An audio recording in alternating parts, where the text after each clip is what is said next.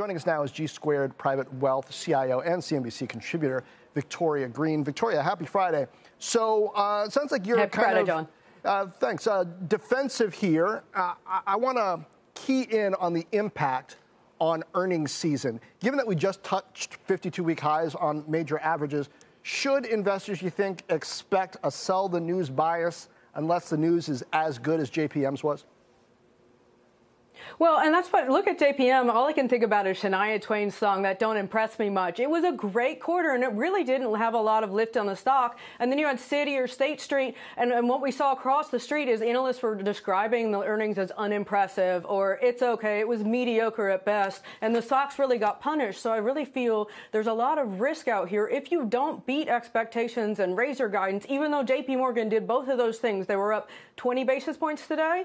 And so you're just not seeing the lift from the beach that you think you'd see. And so I think that's where you saw some of the selling pressure come in. People are nervous, you know, that we, we don't just need good news to move this stock up. You need great news like a United Health that came in and really, you know, assuaged fears of the, the, the costs rising and what was happening with the trends. And we're able to, to make investors feel comfortable that Q2 was a little bit of a corner turning for the, their medical expense trends. So what does that mean for Netflix and IBM this coming week, which you own?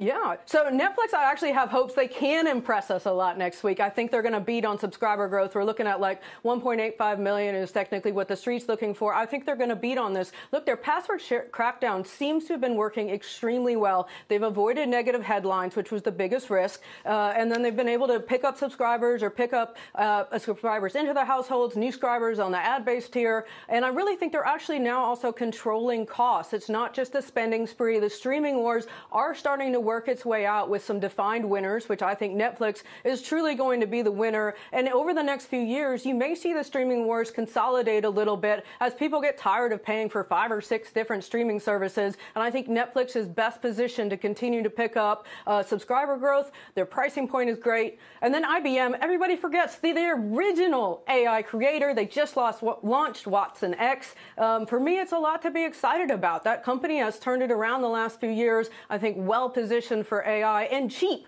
for an AI stock. It is very cheap at 14, 15 times multiple.